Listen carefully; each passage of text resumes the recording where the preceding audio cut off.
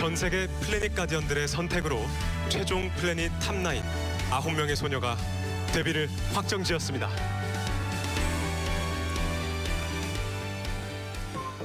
안녕하세요. 이주의 아이돌 정태건. 우빈입니다.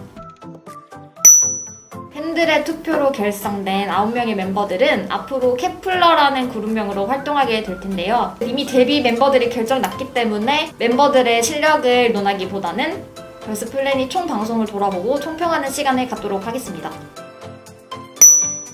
네, 12부작 여정을 끝으로 이제 9명의 최종 데뷔조 참가자들이 이제 윤곽이 드러났는데요. 어떻게 보셨어요? 9명 구성에 대해서.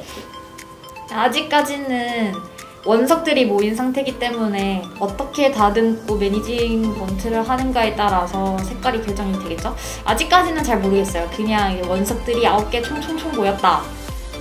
어쨌든 걸스 플래닛 방송 자체가 쭉 0% 시청률을 유지했었기 때문에 유지라고 하는 것도 웃기긴 하지만 0% 시청률을 보여주면서 그다지 많은 관심을 받지 못했기 때문에 이 친구들의 데뷔가 좀 난항이 예상되는 바이긴 해요. 그럼 이제 9명 참가자들 가운데서 뭐 전반적으로 예상이 갔던 결과인가요? 아니면 좀 의외의 결과가 나왔던 거예요? 의외의 결과도 있고 예상을 했던 순위도 있었습니다.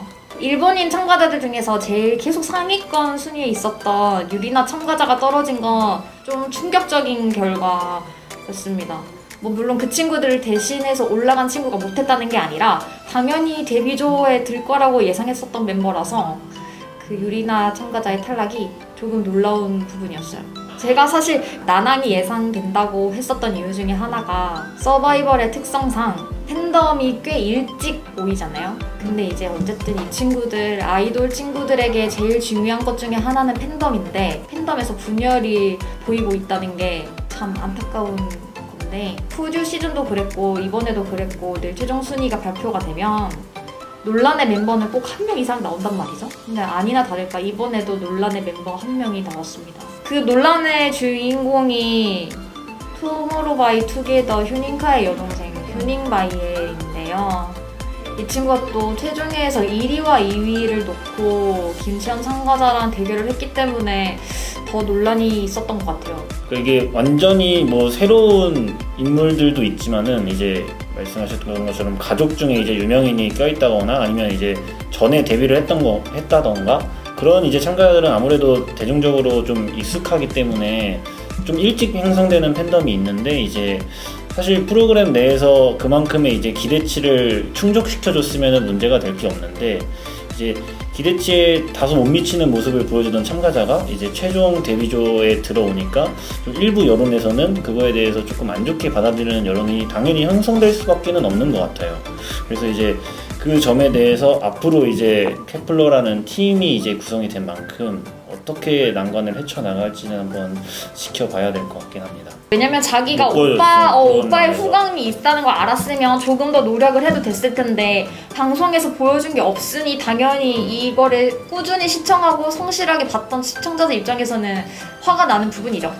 그러니까 이게 어쨌든 간에 그런 좀 유명인의 buff 이런 것들이 조금 있어서 구인할 게 구인 안에 들 거라는 예상은 조금 같지만 사실 순위가 좀 생각보다 높았던 것도 일부 여론의 반발 여론에 좀 불을 지피는 경향이 있지 않았나 싶거든요.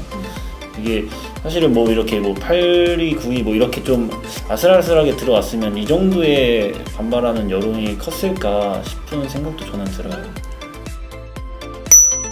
근데 사실 저는 이거에 처음부터 투표 방식이 조금 잘못됐다고 생각하는 사람의 한 사람으로서 제작진이 문제가 있는 것 같습니다. 판단 미스. 이게 뭔가 조작 논란도 피하고 싶고 악마의 편집 논란도 피하고 싶어서 안전한 길을 택하려다가 논란에 자처했죠 스스로. 이건 생방송이었지만 이게 엄청 예전에 찍어놓은 촬영분이 아니란 말이죠. 그래서 시청자들이나 다른 언론의 피드백을 받고 수정할 수 있는 부분이 충분했음에도 불구하고 시정하지 않았다는 거 너무 제작진의 고집스러운 부분이 조금 너무 아쉽다. 그리고 일단 저는 션샤오팅 참가자가 아슬아슬하게 9위로 올라갔다는 것도 너무 놀라워요. 음, 계속 상위권 3위, 뭐 2위 이렇게 계속 있었던 참가자인데 그러니까 이게 전반적으로 아까도 말씀드렸지만 9위 안에 사실 뭐 예상 가능한 멤버들이 들어오기는 했어요. 근데 이제 그 안에서 이제 순위가 나뉘는 것들이 뭐 이제 김치현 참가자가 1위를 하고 그런 것들이 저는 제 생각에서는 조금 제가 예상했던 것과는 조금 벗어났던 결과여서 좋든 나쁘든 팬들의 투표를 이뤄준 건 맞아요. 왜냐면 이게 투표가 1차 투표 합산에 더하기 생방송 2차 투표인데 이 2차 투표에서 두 배를 더했죠. 네. 이 부분은 좀 문제가 있는 게 만약에 내 아이돌이 탈락을 할 것 같으면 당연히 그 최, 최애와 아니다 으뜸이와 버금이 중에 버금이를 하지 않겠어요? 그러니까 합격할 것 같, 데뷔를 할 것 같은 으뜸이보다 아슬아슬한 버금이를 투표를 하기 때문에 이게 좀 약간 순위 변동에 크게 작용한 것 같아요.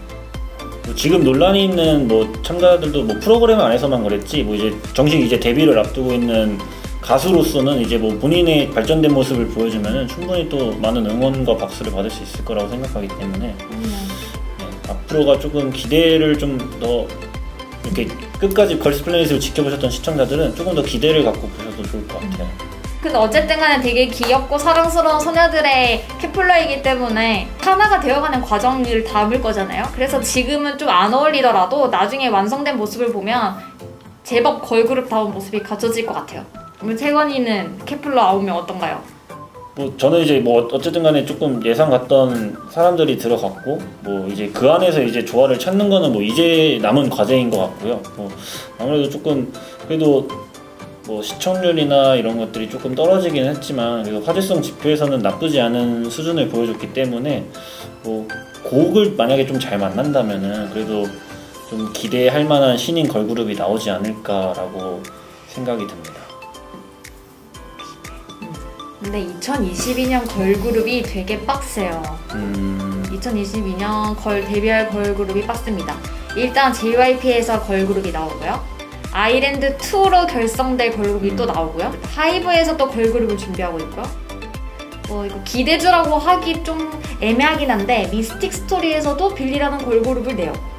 그래서 이 친구들의 경쟁자는 아직 시작하지도 않았는데 경쟁자들이 너무 막강하다 보니 곡을 잘 만난다 잘 만나도 참 힘든 선 넘어 산인 케플러죠. 뭐 언제가 될지 모르겠지만 데뷔일이 그래도 남은 기간 동안 이제 좀 잘 준비해서 좋은 모습으로 나타나서 이제 지금 있는 뭐 멤버들이 어떻고 저쩌고 나오는 이야기들을 조금 불식시킬 수 있었으면 좋겠고 또 이제 떨어진 아홉 명에 들지 못한 떨어진 참가자들도 뭐 본인이 이제 원하는 바를 이룰 수 있도록 또 다른 곳에서 열심히 준비하면 또 좋은 결과 있을 테니까 오디션에 같이, 떨어졌다고 끝이 아니기 때문에. 네, 네, 응원하는 마음으로 지켜보겠습니다.